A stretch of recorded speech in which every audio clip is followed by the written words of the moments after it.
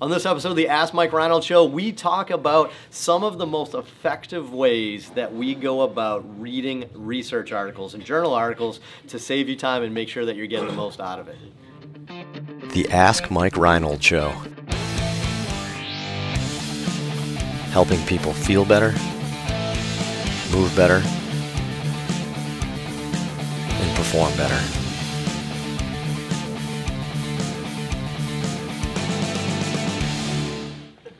Welcome back, everybody, to the latest episode of the Ask Mike Reinold Show. We're up at Champion PT and Performance with Dave Tilley, Dan Pope, Lenny Macrina, Mike Scaduto, answering your very amazing questions. What? Your amazing questions.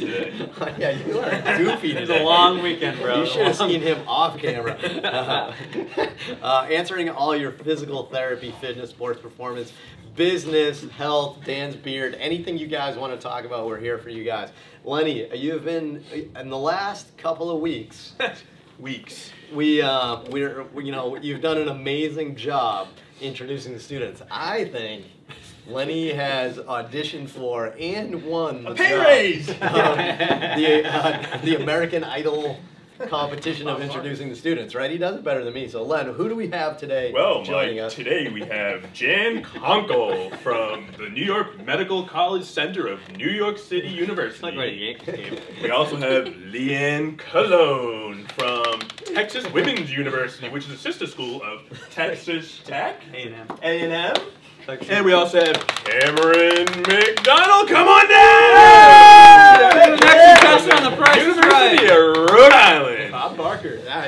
we have. I'm Drew Carey. Come on, man. Oh, I think we're on. Bob Barker. What on earth took us 150 episodes to get to this point in time? You're gonna win a new car. we we're delusional in here. So we got another great question. We got one of these. We got we had one of those great one question episodes coming up. Who wants to take this one?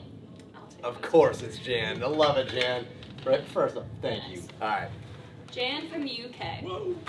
What's your technique for reading and gathering information from research articles and journals? It takes me 10 plus minutes to read one research article, and I want to speed up while still taking on board key points. I like so so Jan or Jan. Ooh, whoa, Jan. from the UK though. Yeah, well, it could be Jan. Okay. Right? I don't know what I meant. Does the, UK, does the UK exclude Jan? Do they pronounce their J's as Y? Well, no, like Jan is a is a more of a man's name, right? And Okay. Jan, Jan is more of What's a the we thing don't with like the top? short of Jan- Janet. Not until they have two dots. Easy. Oh, yeah. Uh, Jan's short. two dot thing. I think we've, we, we're off the rails. lost, yeah. So, uh, so All right, I'll start. the, the, the question was, we're essentially, how do we read research articles? Not find research articles. That's why I really like this question. So the question, it's taken, it's taken Jan Yan about like 10 minutes to go through an article and figure it out. So I guess my first question to the group is, is that weird? Take it 10 minutes? I am not the No, person to answer this. Yeah, ten. I don't, I don't think ten minutes is necessarily bad for that. But um, so let's, Mike, you want to start? How do you Yeah. read a journal article? All right, so I think I had, I had tried to systemize this for myself and make it uh like kind of streamline how I think about reading a research article. So first thing I decide is, is this something that's directly uh, applicable to my clinical practice, or is this something that I'm just kind of interested in reading? Is that Pico? Uh, I yeah, I guess they taught us this. I'm going to take full credit for developing this, but Pico or or this system? All right, I was like, All right, so that's this is stand. This is the Pico system. is it applicable to my clinical practice?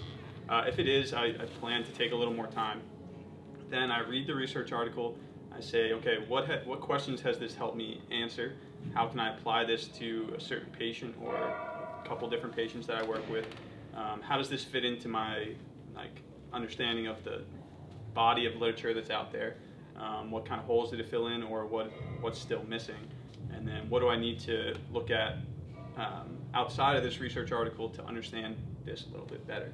I try and go through that. Um, it does take a lot of time, but I think it I think it helps with my understanding of, of that specific article, and then putting it back into context of the, to- the totality to, what I know essentially. That's awesome. In the Mike. research. I mean, I like the way you've you, you've clearly thought about this, like to say like, hey, I'm not just reading an article. I'm trying to extract information. That's what I liked about that. So I think that's awesome that you do that. That's good. Who who else wants to share how they do it? Um, yeah, I mean, I think similar to probably how we all do it is I always am trying to think of like three or four major subjects I'm trying to look at, and you I'll scan it first to look at the abstract for like the methods, the people involved, like for external validity. Like I don't want to spend, you know, 10, 20 minutes reading a paper if I get to like the middle of it and it's like 60 year old, you know, males with back pain. I'm looking for 15 year old females. Pico, I like that. That's that's good. So I'll try to look at the, like the main thoughts. I don't want to only read the abstract and like jump to conclusions, but if it just doesn't have the thing that I'm looking for, then I'll probably skip it or put it on the back shelf. And then things that I'm really interested in, similar to Mike, is I'll look through the main methods first. I think that's probably the best place to start is to really take a look at how they measured it, what tools they used to be valid, the, the stats they use, and then if those things feel like they're valid, then I'll read the rest of the paper and go through like pretty in depth about their discussion conclusions. Then I usually do a lot of reference checking for their references to see like where did they get this study from or what were they basing it on to kind of go back and read that study versus just take it from grain of salt. Yeah, and I think I honestly like piggybacking off Dave there. I mean, I think in reputable journals, there's a lot of bad journals out there nowadays, but in reputable journals, in the met in the method section of the abstract, you should be able to get enough out of it if you think that this is uh, the validity of Yeah. the study is there a little bit. So, so I do, I do that is pretty important to me. You don't want to read like a bunch of the article and then look at the methods and then realize that you somehow don't like something about their methodology and, and then the whole paper is you know invalid for you. But Len, what do you do? I know you read a lot. Yeah, I mean, uh, kind of what they said, so nothing earth shattering. Um, definitely quickly abstract, see if there's something that's going to apply to me, something that's interesting to me, and then jump into the methods section because I think that's where you're going to figure out if the results are actually what they what they should be and what they are, are truly are. Um, for example, in the baseball world where I read a lot of stuff, I see a lot of, you know, trying to correlate range of motion and, and finding injury rates and GIRD and all that. paper just came out. And when I look at the method section of how they measure internal rotation and external rotation, completely disagreed with it, which means the whole data sheet, all the data that they had, to me is not as valid as something that maybe we would have put out, where we feel like our methods uh, on how we measure range of motion is a little bit more true. We work with baseball players every day, all day, and so how we measure, we think is a little better than somebody who doesn't stabilize correctly. So again, if the methods are not up to speed and up to par as what I would think they should be and what I've practiced and how I can apply it to my practice, then uh, to me the results are going to be invalid. So. Yeah, I I think adding on that too, the challenge is that people aren't maliciously doing bad research Oh, studies. definitely no. Yeah, I think exactly. the, the problem that, well, for the most Some, part, Right, yeah, some right. people are. So- it's rare, Yeah. but some people are. I think yeah. the, the ch- tough part is, is, as you guys who publish and we're sh- starting to do more, it's like two years to get the whole process through. So that by the time you publish something, like you may be looking at something completely different because technology emerges. And another example is I'm looking at a lot of like SPECT versus MRI scans for spondy fractures, and sometimes the technology advances so fast that you get to like the end of the the diagnostic validity stuff and it's already there's something else they're using in the clinic so it's not going to be super applicable it's not bad it just it changes so fast Yeah, yeah, it changed. Dan, what do you do? Anything Well, different? I think you guys did a great job of explaining most things. I think the one thing, and there's kind of maybe alluded to in the very beginning of the question, is that it's not a bad thing to spend more time learning. I think as a new grad, and I even I, I get this all the time. Like I'm kind of addicted to learning, so I feel like I need to learn more, more, more, more. Next article, next article. There's so much stuff out there. I feel like I'm overwhelmed. What I find myself doing is that I will learn things on a more superficial level.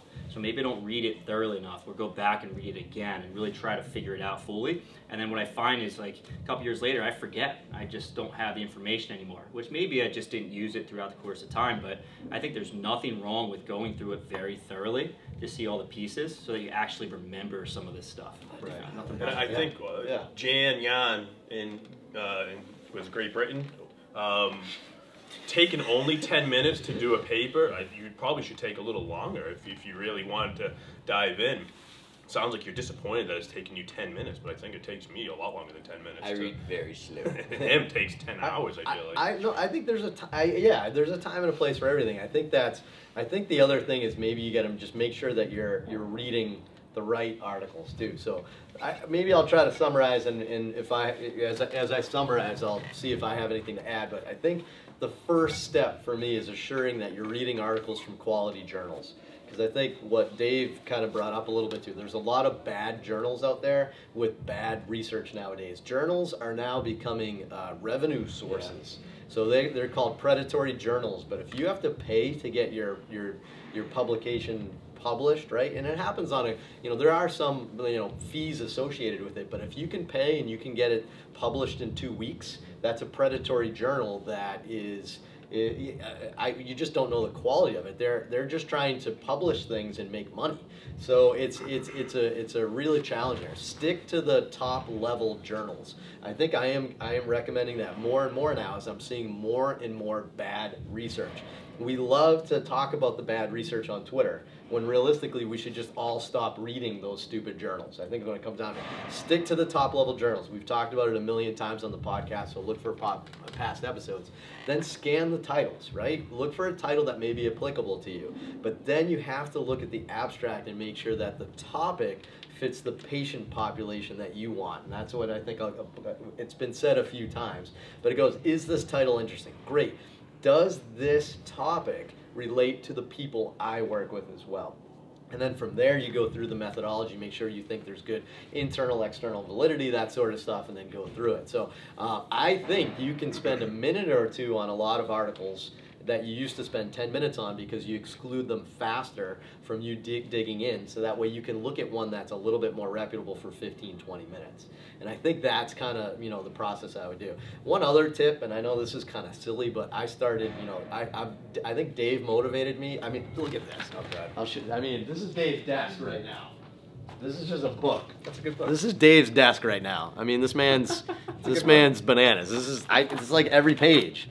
You know what I mean? So Dave's a madman, which I love, and I think we all love and respect that of Dave, but he goes in and he highlights, he takes notes, he takes his time with that. So I actually started, uh, I was motivated, motivated by Dave, and I've been doing that a little bit more lately. But the same thing, I will look at, I will look at table of contents, and I will look at abstracts of probably dozens to hundreds of articles, but I'll only dig in deep on maybe two, three, four a month. And I think that's you know that's the difference. I started doing it with my iPad with the pencil, with the Apple mm. Pencil, just because it's like freaking magical. I don't know. There's something pleasant about the experience of it, and it saves it all right there, and you can just like pull them up. Like I should just, probably save the trees and do that. Oh, MG, you would love it. You would go bananas in there. But but anyway, I think that would be my tip. So I don't. I, I think I, I think I think it's about putting it all together. I think that's like the, the the big thing. So tons of great tips, great episode, great question. I appreciate that one.